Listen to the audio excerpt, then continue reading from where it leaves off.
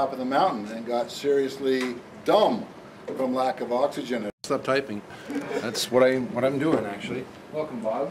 He never left the last one.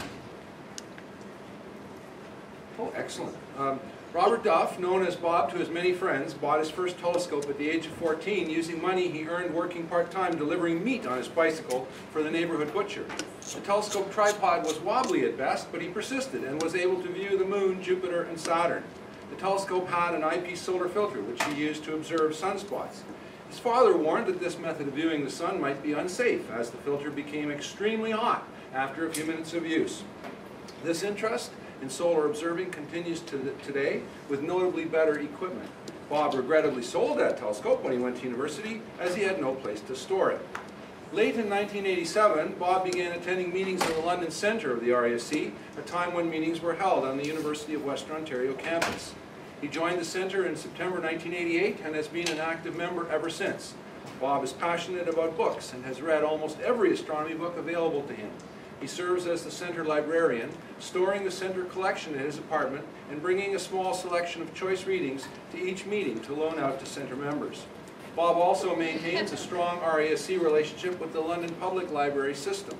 Bob has served as public and educational outreach coordinator since 2006 and is the center's point person for Western's Hume Cronyn Observatory open houses during the summer and Western's Exploring the Stars public education events during the fall and winter. Bob makes it a point to attend every event whenever possible, earning the recognition of being the hardcore volunteer of the center, often attending three or more events in a week. He also organizes star parties for scout and guide groups, primary and secondary schools, and other community groups. At any public event, Bob can be counted upon to recall distance, size, and countless other details on any particular planet, star, nebula, or galaxy. Bob also takes some affectionate ribbing for being able to quickly calculate the power of any particular telescope eyepiece combination to first decimal place accuracy.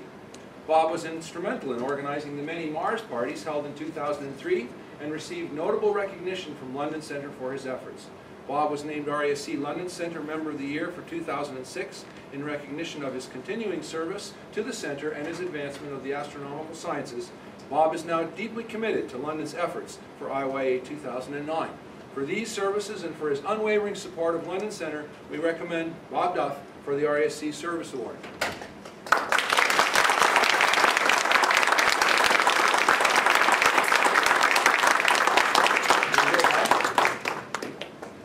Congratulations, and thank you for your service.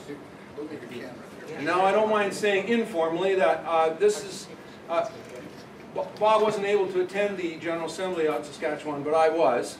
And so I, I received the, uh, the award uh, at the General Assembly. I was hoping to have a picture of that uh, here, but of course I was in the middle of it. I couldn't take a picture. And I didn't get an answer back from anybody who had a picture. I'll show it next month or we'll put it in the newsletter. And so uh, the, the, the award went straight from the national president's hand to mine and now to Bob's. And uh, so we congratulate Bob on, on this recognition.